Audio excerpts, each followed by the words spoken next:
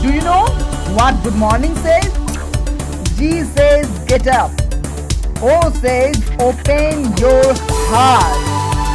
O again says open your mind.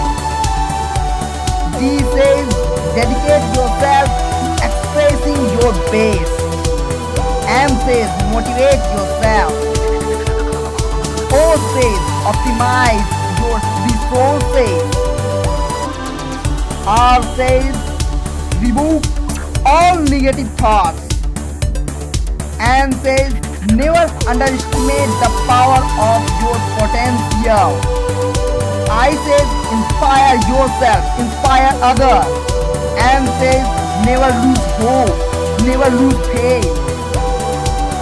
G says go ahead, it will be fun. So good morning everyone.